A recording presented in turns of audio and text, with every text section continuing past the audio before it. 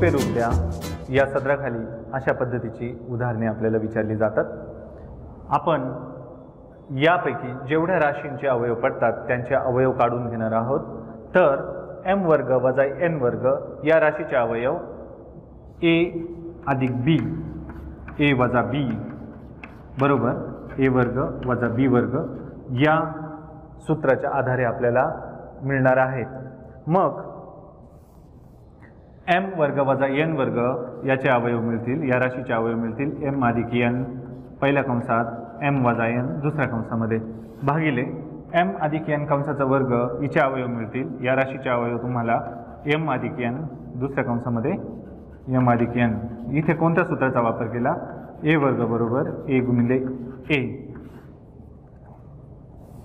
आता ही जी राशी आहे एम वर्ग अधिक एम एन अधिक एन वर्ग या राशीचे अवयव आपल्याला काढण्याची काही आवश्यकता नाही. तिचे अवयव पण मिळत नाहीत. एम एन अधिक एन वर्ग भागिले. आता इथे दोन घनांच्या वजाबाकीचं सूत्र आपल्याला वापरायचं आहे. ते सूत्र तुम्हाला माहीत आहे. ए घन वजा बी घन बरोबर. पहिल्या कंसामध्ये ए वजा बी दुसऱ्या कंसामध्ये ए वर्ग अधिक ए बी अधिक बी वर्ग. या सूत्राचा वापर करायचा आहे. मग याचे अवयव मिळतील या राशीचे अवयव मिळतील एम वजा एन दुसऱ्या कंसामध्ये यम वर्ग अधिक एम एन अधिक एन वर्ग. तर इथे एम अधिक एन अंशात आणि छेदात दोन्हीकडे दिसते तर आपण ती कट करूयात भाग जातो त्यामुळे तिथे शिल्लक राहत नाही. इकडे एम वर्ग अधिक एम एन अधिक एन वर्ग या राशीला सुद्धा सामायिक असल्यामुळे भाग जातो. तर इकडे एम वजा एन आणि एम वजा एन या दोन्ही संख्यांना एक संख्यांनी एकमेकाला भाग जातो. इथे फक्त एम अधिक एन एवढीच राशी शिल्लक राहते छेदाला. म्हणून अंशाला एक लिहूयात आणि छेदाला एम अधिक एन लिहूयात. म्हणून दिलेल्या दिलेल्या दिलेले जे उदाहरण आहे त्याचं उत्तर आपल्याला एक छेद एम अधिक एन हे मिळणार आहे. पुढील उदाहरण आहे. ए वर्ग अधिक दहा ए अधिक एकवीस आणि ए वर्ग अधिक सहा ए वजा सात गुणिले ए वर्ग वजा एक छेद ए अधिक तीन.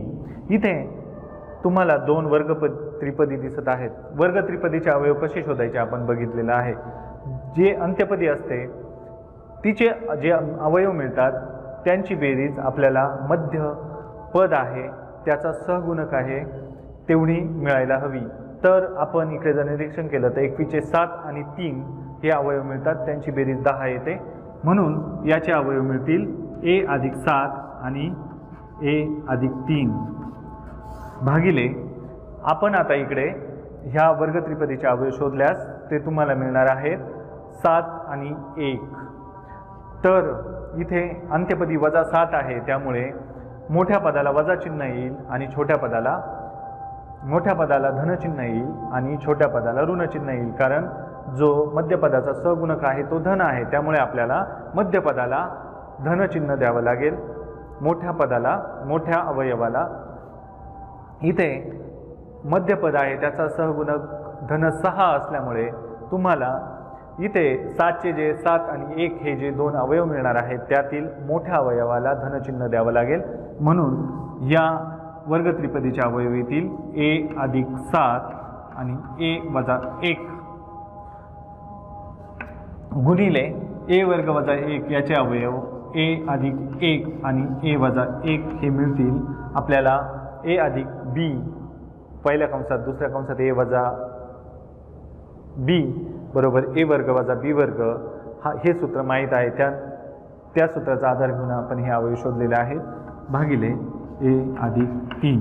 आता इथे अंश आणि छेदामध्ये ज्या सामायिक राशी दिसतील त्यांनी एकमेकाला भाग देऊया.